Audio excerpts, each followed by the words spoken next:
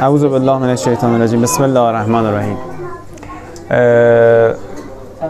ما بحثم با آقای قدردان این بود که به جای اینکه حالا بریم سراغ مدل به نظر میاد که جمع فعلی هنوز نیاز داره به بحث مقدماتی. یعنی من برآورده خودم اینه که نیاز به گفتگوهای بیشتر هست. الانم که این سوالی که شد چی درس می‌دید دانشگاه شریف؟ من دانشگاه شریف بحثای خانواده درس میدم بحث خانواده درس می‌دید. یعنی در هم دانشگاه تهران خانواده درس میدم دانشگاه جامعه سیاست بله. سیاست گذاری زنان درس می‌دید. گرایش تحصیل خودتون چیه؟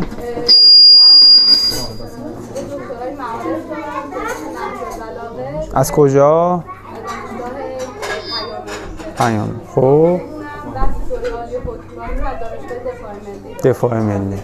ارزم به که و این سوالی که ایشون کردن در مورد اینکه الان از دانشگاه شریف نظرسنجی کردن هدف گذاری آینده دانشجویان رو و از هر از سی نفر 20 نفر دوست دارن که کافه کار کنن.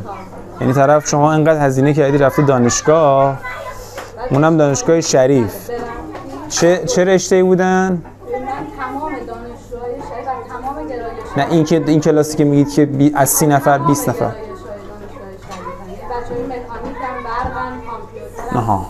توی یک کلاس همشون جمع میشن تو تمام گرایش از سی نفر بعد چند درصد دو خانومن چند آها یعنی جلسه مال خانم ها استاد مرد دارن آها. یعنی همه از سی نفر. سی نفرشون هم خانومن. بعد ترم دوی دانشگاه هم ترم تازه و یعنی واردن تقریبا دیگه. از 20 نفر از 30 نفر 20 نفر دوستان تو کافی شاپ. یعنی یه شاهد از غیب رسید دیگه. یعنی شما الان شما این همه هزینه بکنید. حالا یه موقع بود اینا مثلا می‌گفتن که ما دوست داریم بریم. البته خیلی هم فاصله ندارن و کار کردن توی کافه یه جورایی با اون فطرت خانم های مقدار نزدیکه. یعنی همون در فعالیت توی یک محیطیش نزدیک به خونه بله. بله و گرایشات یعنی دوست دارن که تو جامعه باشن و احساس می‌کنن کافه داری اینه که بله. همه تیپ آدم رو از همه جنس ببینم همین به این موضوع. بله حالا به هر شکل شما رو ارجاع میدم به مقدمه کتاب آقای برنارد لوئیس خاور میانش احتمالا دیدین یا توی خاور میانه آقای برنارد لوئیس که اومده تاریخ چند هزار ساله خاور میانه رو بررسی کرده توی مقدمش که برید ببینید اونجا یه رجزخونی می‌کنه در مورد اینکه سبک زندگی رو در واقع شما الان از دست دادید. یعنی وقتی داره در مورد اتفاقاتی که حالا بیشتر حوزه تخصصی آقای برنارد لوئیس توی مطالعات امپراتوری عثمانی و فضای محدوده اون فعالیت هایی که در واقع مسلمان هایی که امپراتوری عثمانی شکل دادن بوده. و خب اونجا داره مثال می‌زنه از یه کافه ای که حالا توی اونجا دونه دونه شروع می‌کنه. میگه مثلا شما دارید روی صندلی میشینید. قبلا مسلمان ها روی زمین میشستن مخدم میذاشتن یه نیمکتایی داشتن که روی اون مثلا. پذیرایی می‌شدن یا میگه شما از ساعت استفاده می‌کنید؟ قبلا شما از ساعت استفاده نمی‌کردید. شما الان دارید روزنامه می‌خونید. قبلا روزنامه نداشتید. همینجوری شروع می‌کنید. اینا شمردن. یک دو سه چهار. یه سری رجزخونی ها داره دیگه. بعد اونجا میگه میگه مثلا مسلمونا قبلا هم اینجوری بودن. وقتی مغول ها بهشون پیروز شدن اینا فکر کردن که هر کی مثل مغول ها ماشو بلند کنه این نشون دهنده قدرته. اینا هم رفتن ماهاشون رو بلند کردن مثل مغولا که شاید اون ماهی بلند بهشون کمک بکنه که خلاصه جنگاوری مغول ها رو داشته باشن. بعد میگه که الان که غربی ها از نظر نظامی برتر شدن اینا رفتن سراغ کلاه لبهدار. بعد میگه که خوبه شما که کلاه لبهدار می‌ذارید مگه قرار نیست نماز بخونید سجده کنید؟ این که نمی‌ذاره سجده کنید که بعد چرا اینو دارید می‌ذارید؟ این مثل همون رفتار شماست که قبلا خلاصه داشتید. یه زمانی مغول ها به شما چیره شدن ماهاتون رو بلند کردید الان هم که غربی ها به شما پیر- چیره شدن. نوع لباس نظامی و ساز و برگتون شده چی؟ با وجودی با دینتون مشکل داره یعنی کلا لبهدار نمی‌ذاره نماز بخونید کلاه اصلی شما بعد مثال می‌زنه دیگه میگه تو امپراتوری عثمانی تو دوره عثمانی که البته این توی محدوده ما هم بوده. الان مثال بزنم متوجه میشید که هر کسب و کاری از کلاهش شناخته می‌شد. یعنی همه کلاه داشتن و هر کسب و کاری هم کلاه خاص خودشو داشت. شما اگر کلاه اون فرد رو می‌دیدید میفهمیدید که اون فرد چه پیشه ای رو داره دنبال می‌کنه. و میگفتش که برنو لویس میگه که الان شما برید تو قبرستون های قدیمی می‌بینید که شکل کلاه اون فرد روی سنگ قبرش به نوعی قرار می‌گیره. حالا یا ترسیم میشه یا حکاکی میشه که همه بفهمن که این شغلش مثلا چه شغل و پیشه ای بوده. و شما الان مثلا می‌بینید هنوز هم که کسانی که روحانی هستن از دنیا میرن روی تابوتشون اون امامشون رو می‌ذارن که همه این تابوت رو می‌بینن متوجه میشن که این پیشش اون فرد چی بوده؟ در واقع یک فردی بوده که عالم بوده. و شما از رو اون کلاهش یعنی شیوه پوشش سرش که روی تابوتش گذاشته رو می‌تونید بفهمید. اونجا میگه که برنارد لوئیس شما همتون کلاه خاص خودتون داشتید. چی شده که الان؟ اولا کلاهتون شده کلاه فرنگی و اصلا کلاه تغییر کرده. بعدم نظامیاتون به این شکل. خلاص اون تیکه رو بخونید خیلی نکته ها داره و می‌دونید قبلا مثلا در مورد ساعت ما شیوه زماندهیمون به این شکل نبوده دیگه. یعنی بر اساس زمانه شرعی بوده. یعنی وقتی افراد می‌خواستن با هم قرار بذارن می‌گفتن مثلا قبل از نماز ظهر بعد از نماز ظهر قبل یا بعد نماز عصر یعنی موعدها رو بر اساس ساعت شرعی تعیین می‌کردن. و این شیوه زماندهی ساعت یک نمی‌دونم ساعت دو تمام اینها اینا همش سبک زندگی غربیه. و شما وقتی اونجا این رو مطالعه می‌کنید متوجه میشید که ما چقدر سبک زندگی اون تغییر کرده. این یعنی تمدن سازی یعنی غرب تمدن ساخته برنارد لوئیس اونجا یه جور داره روزشو می‌خونه و رجز می‌خونه و حتی آخرش میاد می‌رسه میگه, میگه که حتی آقای خمینی که انقلاب کرد با استفاده از نوار کاست انقلاب کرد. یعنی با ابزارهای غربی این کارو کرد. یعنی هنر امام بود که از ابزارهای روز استفاده کرد. ولی خب این داره از اون زاویهش نگاه می‌کنه که میگه شما از نوار کاست استفاده کردین. یعنی سخنرانیاشون آقای خمینی روی نوار کاست ضبط می‌کرد منتشر می‌شد و اینا. یعنی تا این حد میاد با جزئیات وارد میشه و برای اون کسی که این کار باشه رجز می‌خونه. میگه بابا شما الان همه جای جای زندگیتون سبک زندگی غربیه. بس زیاد شلوغ نکنید. زیاد خلاصه حرف خلاصه اضافی نزنید. هر موقع شما تونستید تو این سطح بیاید و سبک زندگی تعریف بکنید اون وقت بیاد بگید آقا ما مثلا داریم تمدن سازی می‌کنیم خلاصه حرف اینجوری. همین حرفو گفتم دیگه. فرانسیس فوکویاما می‌زنه دیگه. میگه آقا پایان تاریخ. ما آخرین مدل برای اداره بشریت اداره که ارائه کردیم. یه مصاحبه دیگه بعدها داره. یعنی زمانی که فرانسیس فوکویاما از اون مقاله خودش عقب نشینی هم کرده و اینها. توی اونجا بحثش اینه که یعنی بحثی که تو مصاحبه می‌کنه میگه که بله مدل لیبرال دموکراسی انتقاداتی بهش وارد بود و اون مدل هم جواب نداده خیلی کامل. اما مسئله اینه این حرفش اینه. دوباره داره هم حرف یه به نوع دیگه تک تکرار می‌کنه. میگه کس دیگه آخه مدل نداره. میگه الان مدل جایگزین اگه لیبرال دموکراسی بره کنار کی می‌خواد بیاد؟ می‌خواد مدل مثلا چین بیاد؟ مدل مثلا اون موقع زمان چاوز بود موقعی که این مسابقه مثلا مدل چاوز ونزوئلا می‌خواد بیاد و حالا به نوعی میگه که مدل اسلام نمی‌دونم طالبانی و فلان و اینا می‌خواد چون اسلام رو که میگن بلافاصله میشه اون اسلام طالبانی. اسلام طالبانی می‌خواد به کی می‌خواد بیاد؟ کسی مدل نداره که آخرش شما باید اصلا این مدلی که اشکالاتی هم میگه وارد من خودم هم میگه تو مقالم بهش اشاره کردم آخر باید اصلا این استفاده کنید. کسی مدل نداره. پس بنابراین حالا این مدل دانشگاه که شما دارید میگید و اون که این افراد گرایششون که برن توی کافه کار بکنن و اینها. خود اون قهوه خونه و خود اون کافه رو آقای برنال لوئیس میگه اصلا این سبک هم سبک غربیه. اصلا این مدل.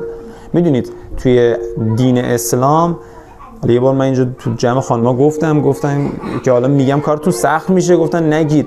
حالا بالاخره بدونید دیگه اینا رو. بیرون غذا خوردن کراهت داره. اصلا یکی از مشاغلی که کراهت داره انجام دادنش فروش غذاست. الان شما نگاه کنید که چقدر تو سبک زندگی ما این موضوعیت داریم از غرب اومده دیگه. یعنی شما هم یکی از شغل هایی که خیلی طرفدار داره همین بحث کافه و نمی‌دونم طبخ غذا و فروش غذا و انواع اقسام این مسائل و اینکه حالا یه سبک زندگی هم هست که بریم بیرون مثلا رستوران و کافه و اینا غذا بخوریم.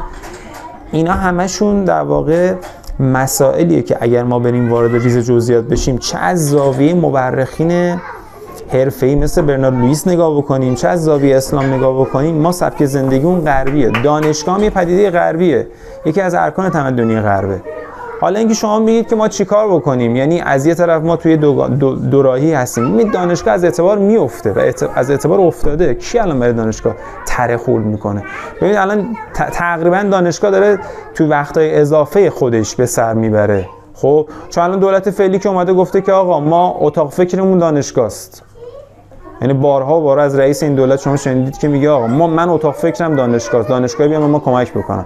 خب اگه نتونه مسائل حل بکنه دولت قبلی و دولت قبلی و دولت قبلی همه این همینجوری بودن دیگه. یعنی دولت های خاتمی که من یادم دانشگاه الان بودیم یه سری از استادای ما از آقای برادران شرکا که رئیس سازمان برنامه بودجه بود تا بقیهشون که وزیر اقتصاد بودن و اینا.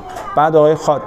احمدی نژاد که اصلا از دانشگاه اومد یعنی دکترای نمی‌دونم حمل و نقل تو علم و صنعت داشت اومد و نمی‌دونم یه سری از افرادی هم که اول دانشگاه آورد و اینها. آقای رئیسی هم که حالا به نوعی بهش هم تو مناظرات حمله شد که نمی‌دونم دکترای شما نمی‌دونم مدرکش معتبر نیست و این بحثا. این آدم خب فکر می‌کرد که این حملات خیلی شاید مثلا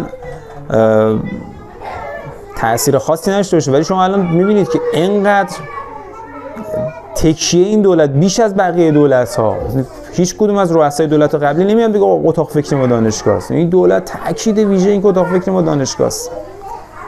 حالا من اینو نمی‌خواستم واردش بشم این بحث رو. الان یه کسی از توی خود غرب حالا اینا ما میم خودمون کاتولیک تر از پاپ شدیم. یکی از تو یکی از توی خود غرب که در واقع یکی از ارکان و افرادی که بار تمدنی غربی دوشید به آقای پیتر تیل. نمی‌دونم می‌شناسید یا نه. هم جنس بازم هست. بعد آلمانی اصل ولی خب توی آمریکا فعالیت می‌کنه اینا. شاید از نظر تاثیرگذاری اون دوره‌ای که این در واقع شاخص بود ایلان ماسک اینقدر معروف نبود که. بعد حالا ایلان ماسک دیگه تبدیل شد به سلبریتی.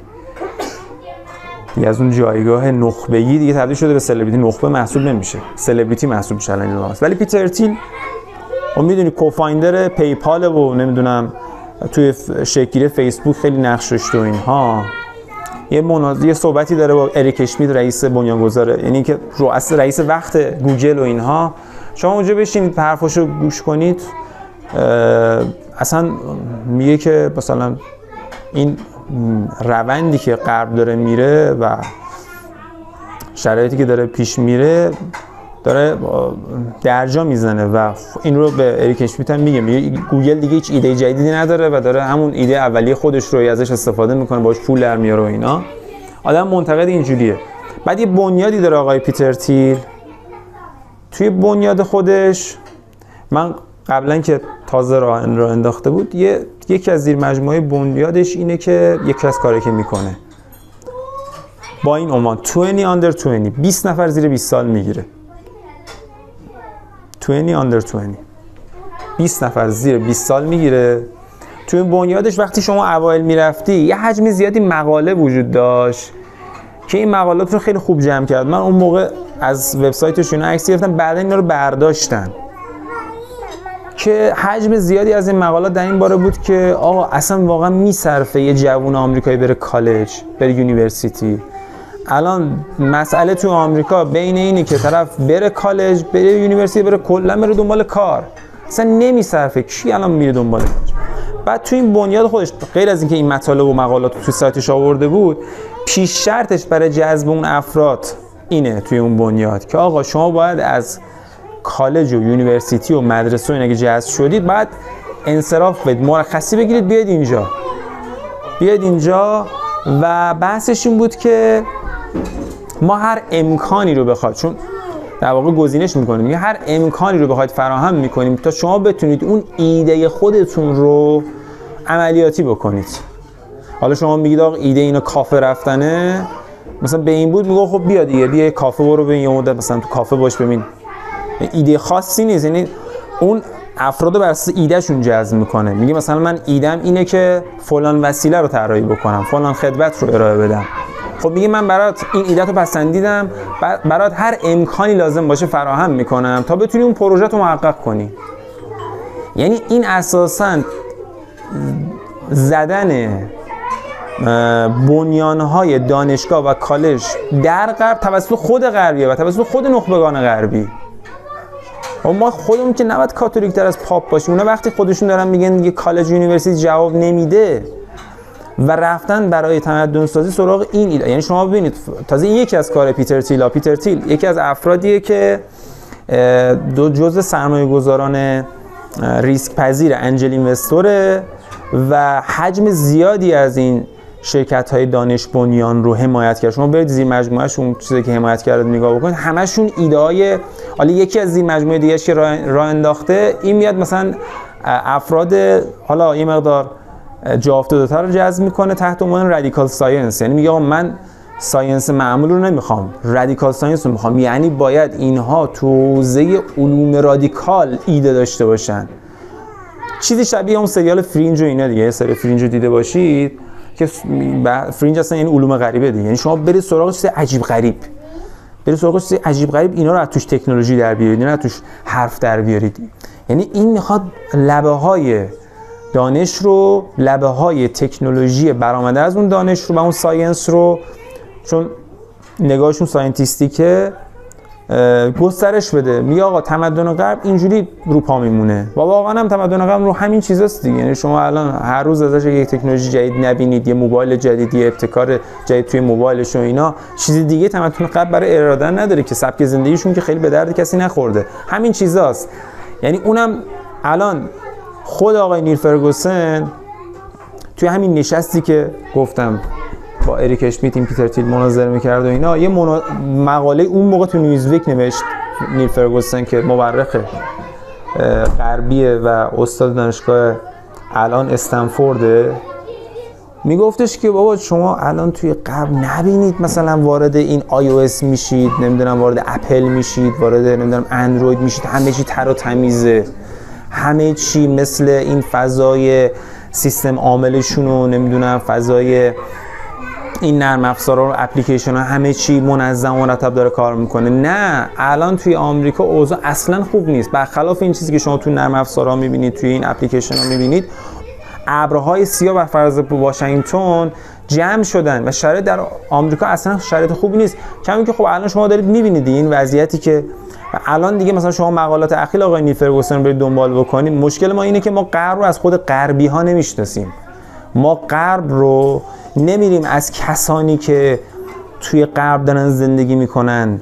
استاد دانشگاه اونجا نمی‌دونم مورخ اونجا منتقد اونجا از زبون اونها بریم بشناسیم. از منابع اصلی بریم بشناسیم. از نیل فرگوسن بشنویم. از نمی‌دونم امثال خودشون که اونجا دارن زندگی می‌کنن با مشکلات دست و پنجه می‌کنن. از اونها آشنا نمیشیم. با چند دست فاصله از تو دل نمی‌دونم دانشگاه و مقالات چند سال قبل و کتابای چند سال قبل و از این چیزا خلاصه میریم در میاریم. و یا اینکه اصلا شیوه شناختمون شیوه شناخت صدا و سیماییه دیگه. یعنی چیزایی که مثلا صدا و سیما هر چنگی هوس می‌کنه. مثلا یه چیزی از آمریکا بگه که مثلا اونو ما میشتیم فکر می‌کنیم که مثلا صدا و سیما داره آگاندیسپان می‌کنه دیگه. آمریکا یه بهشتیه. مثلا اینا دارن عقد سیاه نشون میدن. یعنی هیچ کدوم از ماها نمیریم ببینیم که توی خود آمریکا که الان تمدن چیره مسلط چه خبر. خود آقای نیفرگوسن میگه که الان این دور اگه ترامپ رأی بیاره احتمال خیلی زیادی وجود داره که اساسا دموکراسی در آمریکا جمع بشه. یعنی الان سال 2023 رو مقایسه می‌کنه تو مقاله ابتدایی سالش با دقیقا 2023 سال قبل یعنی زمان تولد مسیح. میگه الان زمانه و شرایط و تاریخ خیلی شبیه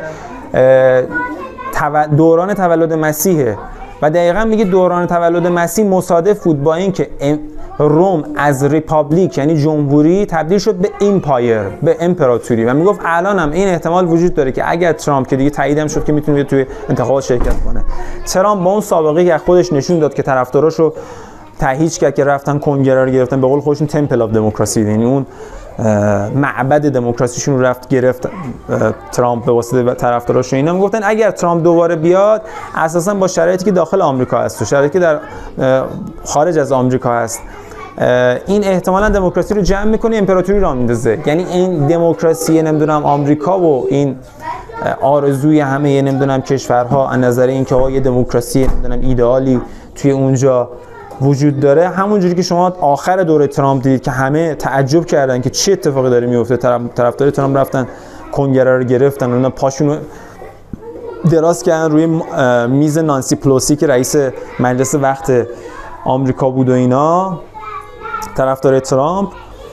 خب این اگه بیاد خدای فرگوسن میگه احتمال وجود داره که آمریکا رو تبدیل کنه به امپراتوری. یعنی تو شرایطی که آمریکا الان پوزیشینه به خود همین آقای فرگوسن میگه که الان ایران روسیه و چین شدن autocrat. یعنی اینا axis of autocracy یعنی اینا محورهای اتوکراسی‌ان و چین هم شده زرادخانه اینها. داره اینها رو نظر تسلیحاتی حالا کلا حرفاش همش حرف دقیق و درستی نیست.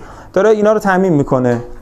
بعد در مقابل اتوکراسی یعنی خودکامگی اونها داره به دموکراسی خودش میباله. ولی از اون طرف بحثش اینه که چی؟ بحثش اینه که ترامپ اگه میاد دموکراسی رو جمع می‌کنه. یعنی واقعیت اینه که ما شناختی که از آمریکا داریم و شناختی که از فضا و شرایط تمدن چیره و مسلط حاکم در جهان یعنی غرب داریم یک شناخت کاملا غلطیه. نخبگانشون دارن توی فضا. همین آقای پیتر تیل میاد همچین بنیادی را میندازه. این آدم رفته توی نیوزلند برای خودش خونه خریده. یعنی میگه اگه آمریکا به هم بریزه ما تو آمریکا نمیمونیم. سوپرجت های اینا آماده است. اگر شرایط از کنترل خارج بشه که هر لحظه ممکن اتفاق بیفته تو آمریکا اینا رفتن برای خودشون همین آقای پیتر تیل خونه گرون قیمت اون موقع سر صدا کرد. که رفته بود خریده بود توی نیوزلند بعضیاشون رفتن برای خودشون بانکر ساختن. یعنی زیر زمین توی نیوزلند برای خودشون پناهگاه ساختن. که ما اینو تو مستند پایان بازی ساختیم. یعنی اصلا این اخبار رو و این حرفا رو شما نمیشنوید. دانشجوی شما نمیشنوه.